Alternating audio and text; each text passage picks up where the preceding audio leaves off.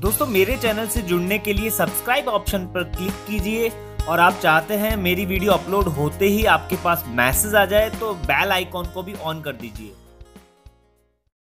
नमस्कार दोस्तों, मैं अमित कुदवाल आप लोगों का स्वागत करता हूँ मेरे चैनल में और आज हम बात करेंगे कि किस फिंगर में हमें कौन सा रत्न धारण करना है। बहुत ही इंपॉर्टेंट टॉपिक है। बहुत से हाथों में मैंने देखा है कि गलत फिंगर्स के अंदर गलत रत्न होता है और उसके इफेक्ट्स नहीं मिलते, उल्टे नेगेटिव मिलते हैं। तो आपको ये चीज़ पता होनी चाहिए कि हमें किस उंगली के अंदर कौन सा रत्न धारण करना है, जो हमें पॉजिटिव रिज़ल्ट दे, सौ प्रतिशत सकारात्मक रिज़ल्ट उस रत्न के माध्यम से हमें मिले। तो सबसे पहली बात, जो बॉयज़ हैं, उन्हें अपने राइट हैंड के अंदर रत्न धारण करना ये फिक्स है। और जो गर्ल्स हैं गर्ल्स को जो रत्न धारण करना है, वो करना है लेफ़्ट हैंड के अंदर।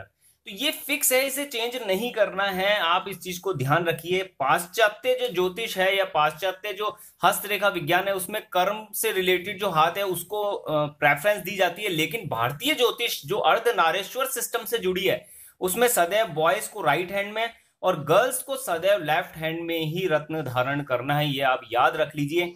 अब रत्नों को याद कैसे रखें कि कौन सी उंगली में कौन सा रत्न धारण करना है तो बहुत इजी गोइंग मैं आपको आज ये चीज़ समझाने वाला हूँ। बहुत ही आसान तरीके से आपके दिमाग में फिट हो जाएगी। देखिए, तीन तरह की रेखाएँ होती है। ये हार्ट लाइन है, ये मस्तिष्क रेखा है और ये हमारी जीवन रेखा है, ये हमारी लाइफ लाइन है। इस तरह की तीन मेजर रेखाएँ होती है, भाग्य रेखाएँ और बाकी बारीक रेखाएँ भी होती है। तो अब आपको यहाँ पर ये देखना है कि कौन सी उंगली के जस्ट नीचे कौन सा पर्वत है, कौन सा जो ग्रह है तो देखिए, सबसे पहले ये जो एरिया है, ये कहलाता है शुक्र। शुक्र देव का जो क्षेत्र कहलाता है, वो कहलाता है ये वाला, यानी लाइफ लाइन से जो घिरा हुआ क्षेत्र है, वो शुक्र देव का है। देन उसके जस्ट ऊपर जो क्षेत्र है, वो कहलाता है बृहस्पति देव का। बृहस्पति देव का इंडेक्स फिंगर के जस्ट नीचे जो क्षेत्र है, वो बृहस्पति देव का है। और उसके बिल्कुल पास जो क्षेत्र है, वो है शनि देव का, जहाँ पर हमारी भाग्य रेखा जाती है। और शनि देव की शनि देव के पास जो हमारा क्षेत्र है, वो कहलाता है सूर्य देव का।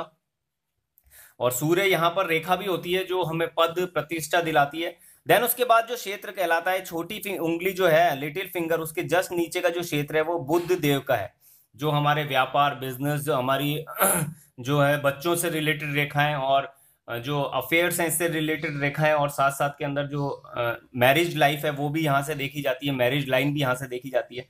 तो इस तरह से हाथों के अंदर कुछ पर्वत होते हैं जो मेंशन होते हैं। अब इसका कनेक्शन रत्नों से और इसका कनेक्शन ज्योतिष विज्ञान से भी है। देखिए, बिल्कुल सिंपल तरीके से आपकी चीज़ समझ में आ जाएगी कंफ्यूजन वाली बात ही नहीं है। बृहस्पति देव का रत्न कहलाता है पुखराज। पुखराज सदैव इंडेक्स फिंगर में ही आपको पहनना है, इस उंगली में ही आपको पहनना है। बॉयज़ है तो राइट हैंड साइड में राइट हैंड हैंड में पहनना है। और गर्ल्स है तो लेफ़्ट हैंड में पहनना है। ये आप बिल्कुल फिक्स कर लीजिए अपने दिमाग में। और पुखराज की जो ये उंगली है इंडेक्स फिंगर इसमें कोई दूसरा रत्न धारण नहीं किया जाता। सिंगल सिर्फ़ पुखराज ही इस उंगली में धारण किया जाता है, क्योंकि बृहस्पति देव अपने आप में सभी पावरफुल चीज़ें लेकर बैठे हैं। संतान से रिलेटेड पावर है इनके पास, यानी संतान सुख चाहिए तो बृहस्पति देव है, पैसा चाहिए बृहस्पति देव है, मान सम्मान चाहिए बृहस्पति देव है, परिवार चाहिए बृहस्पति देव है तो इनके पास बहुत सी चीज़ें हैं, जिसकी कुंडली में बृहस्पति अच्छा होता है। अच्छी पोजीशन में होता है, उसको लाइफ में बहुत कम प्रॉब्लम्स आती है। ये शनि देव का क्षेत्र कहलाता है। शनि देव का क्षेत्र कहलाता है तो ये जो सबसे बड़ी उंगली है हमारे हाथ की, उसमें पहना जाता है नीलम। नीलम रत्न सदैव इस उंगली में धारण किया जाता है। देन उसके बाद ये सूर्य देव की उंगली है तो इसमें धारण किया जाता है माणक, क्योंकि सूर्य देव का जो रत्न है, वो कहलाता है माणक। देन उसके बाद बुद्ध देव की जो उंगली है, उसमें पहना जाता है पन्ना। सदैव पन्ना इसी उंगली में पहना जाएगा। इसके बाद दो क्षेत्र और हैं, वो भी मैं आपको क्लियर कर देता हूँ। ये कहलाता है चंद्र क्षेत्र। हमारे हाथ का जो ये क्षेत्र है, चंद्र क्षेत्र कहलाता है। यहाँ से विदेश यात्राएँ भी देखी जाती है और भाग्य रेखा अगर यहाँ से निकलती है तो उसका भी इफ़ेक्ट पड़ता है। और ये जो क्षेत्र कहलाता है, ये कहलाता है मंगल, जहाँ पर हमारी लाइफ लाइन और हमारी मस्तिष्क रेखा आपस में मिलती है। उसके नीचे का जो एरिया है वो कहलाता है मंगल का एरिया और इसके बिल्कुल सामने भी मंगल का ही क्षेत्र है। यानी मंगल क्षेत्र की बात करूँ तो ये पूरा जो एक पट्टी सी है ये, जो हार्ट हार्ट लाइन से नीचे है और इस रेखाओं के नीचे का एरिया है, ये पूरा एरिया कहलाएगा मंगल देव का। ये मंगल क्षेत्र कहलाता है। तो अब यहाँ पर दो रत्न और बच गए यहाँ पर। एक तो बच गया है देखिए तीन रत्न बच गए यहाँ पर। एक तो चंद्रदेव का मोती। तो मोती आपको धारण करना है बिल्कुल इस जो पर्वत है, उससे ऊपर वाली उंगली, यानी कि जो पन्ने वाली उंगली है बुद्ध देव की उसमें। तो मोती सदैव आपको धारण करना है इस उंगली के अंदर। देन उसके बाद शुक्र देव का क्षेत्र यह है तो उसके ऊपर वाला क्षेत्र, यानी यहाँ से भी आप कैलकुलेट करें तो दो उंगलियाँ लगभग कवर होती है शुक्र क्षेत्र से, जो बृहस्पति देव और शनि देव की है। लेकिन शनि देव इनके अति मित्र हैं, इसलिए शुक्र देव का जो रत्न है, जो कहलाता है ओपल, वो सदैव आपको धारण करना है इस उंगली के अंदर। ओपल जो आपको धारण करना है, वो शनि देव की जो उंगली है, सबसे बड़ी जो उंगली है, मध्यमा जो उंगली है, उसमें आपको धारण करना है। और इसके बाद आप मंगल क्षेत्र मंगल क्षेत्र क्योंकि ये पूरा ही है तो यहाँ पर मित्र जो उंगली है, वो देखी जाती है तो मित्र उंगली जो है, वो है यहाँ पर सूर्य देव की। मंगल देव सूर्य देव के अति मित्र है। तो आपको जो कौरल धारण करना है, यानी जो मूँगा धारण करना है, वो सदैव धारण करना है सूर्य देव की उंगली के अंदर।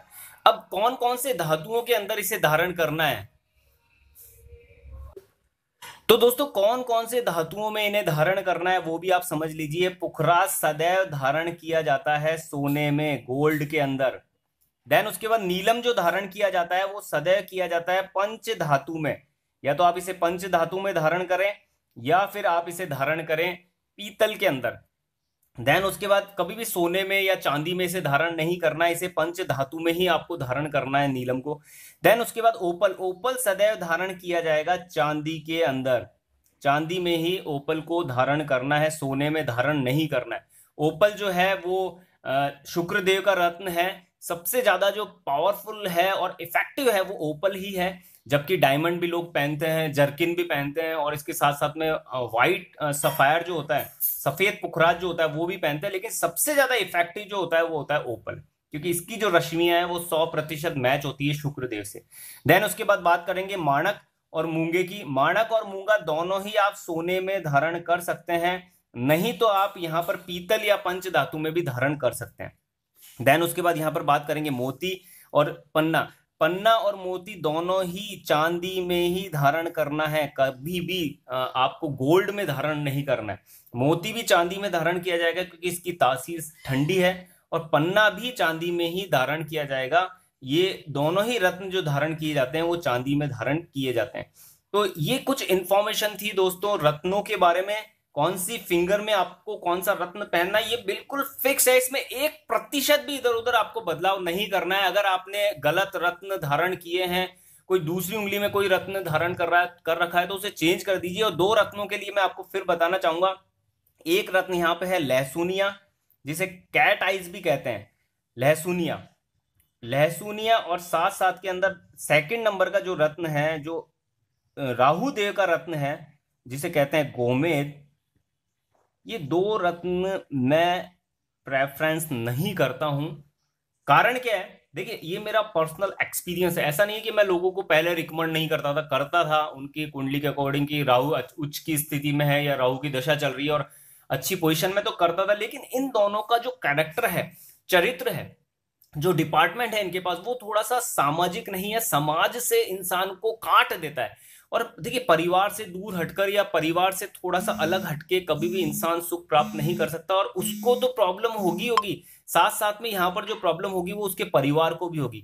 तो जैसे मान लीजिए किसी ने गोमेद धारण करा, उसकी उच्च की अवस्था चली और अच्छे रिज़ल्ट देने स्टार्ट करे, धन, मन, पैसा ऐसा काफ़ी आ गया, लेकिन उसके परिवार में एक छोटी सी प्रॉब्लम क्रिएट होनी स्टार्ट हो जाती थी, वो ये थी परिवार से वो इंसान कटना स्टार्ट हो जाता था या कभी कभी गलत दिशाओं में भी चला जाता था, क्योंकि इनके पास जुआ, सट्टा, लॉटरी, शराब और जितने भी नेगेटिव डिपार्टमेंट्स हैं, ये दोनों देवता जो हैं, उनके, इनके पास ही है। और जो सीधे सीधे जो हमारे जो केतु देव है, वो तो मोक्ष की ओर ले जाते हैं इंसान को, यानी कि समाज से दूर ले जाते हैं। सामाजिक जो एक्टिविटी है, वो इनसे नहीं जुड़ी। तो कभी भी लहसुनिया गोमेद धारण करने के लिए मैं अब सलाह नहीं देता हूँ किसी को भी, क्योंकि ऐसे रिजल्ट्स आए मैं आपसे सारी बातें वो कर रहा हूँ जो पर्सनल एक्सपीरियंस है, जो मैं अनुभव कर रहा हूँ फील कर रहा हूँ। बहुत से ऐसे जो कुंडली के अंदर भी हाउसेज होते हैं, जिसे लोग अभी तक गलत मानते हैं, लेकिन परिस्थितियों के अनुसार आज उन हाउसेज में भी काफ़ी चेंजेस आए हैं। तो प्रैक्टिकल नॉलेज है आपके सामने बिल्कुल। अगर आप हस्तरेखा की थोड़ी सी भी नॉलेज रखते हैं तो आपको ये पता होगा कि ये इन क्षेत्रों के अंदर ये पर्वत होते हैं, इससे रिलेटेड या साइन होते हैं या रेखाएँ भी होती है, उनकी स्टडी की जाती है। तो उससे रिलेटेड मैंने आपको ये इन्फॉर्मेशन दी है। अगर ये इन्फॉर्मेशन आपको अच्छी लगी है तो प्लीज़ लाइक कीजिए इस वीडियो को शेयर कीजिए ज़्यादा से ज़्यादा लोगों तक, जिससे लोगों को सही जानकारी मिल सके। और अगर उन्होंने कोई गलती करी है, कोई ऐसी फिंगर के अंदर रत्न धारण किया है जो वास्तव में वहाँ नहीं होना चाहिए। अब सूर्य रत्न अगर शनिदेव की उंगली में पहन लिया जाएगा तो वो रिज़ल्ट कभी ज़िंदगी में नहीं देगा, उल्टा उस इंसान को खींचकर नेगेटिव दिशा में लेकर चला जाएगा। और कभी कभी तो ऐसा भी देखा जाता है कि मंगल देव की जो उंगली होती है और सूर्य देव की उंगली होती है, उसमें लोग गोमेद धारण कर लेते हैं, जबकि दोनों एंटी पार्टियाँ शारीरिक प्रॉब्लम होनी स्टार्ट हो जाती है, शारीरिक बीमारियाँ लगनी, यानी कष्ट होना स्टार्ट हो जाता है, और एक्सीडेंट की संभावना भी बन जाती है। अगर गोमेद किसी ने सूर्य देव की उंगली में धारण कर लिया है तो। तो ऐसे केसेस भी देखे गए तो इसलिए ये वीडियो इतनी, बहुत ज़्यादा इंपॉर्टेंट है। आप इसे शेयर कीजिए। व्हाट्सअप फेसबुक अपने ज़्यादा से ज़्यादा लोगों तक पहुंचाइए, जिससे अगर उन्होंने कोई गलत रत्न धारण किया है, गलत धातु में धारण किया है तो उनको सही जानकारी मिले और उनका जीवन सही हो सके। माध्यम बनिए इसके लिए। आप लोग अगर इसका माध्यम बनेंगे, किसी की हेल्प कर पाएँगे तो बहुत ही बढ़िया बात है, उसका फ़ायदा आपको भी मिलेगा। तो दोस्तों, मिलते हैं नेक्स्ट वीडियो में। नए व्यूअर हैं, पहली बार मेरा चैनल देख रहे हैं तो सब्सक्राइब कीजिए और एक बेल आइकॉन है, उसे भी ऑन कर दीजिएगा तो मेरी वीडियो अपलोड होते ही आप तक पहुँच जाएगी, एक मैसेज आपके पास आ जाएगा। तो मिलते हैं दोस्तों नेक्स्ट वीडियो में ओके थैंक यू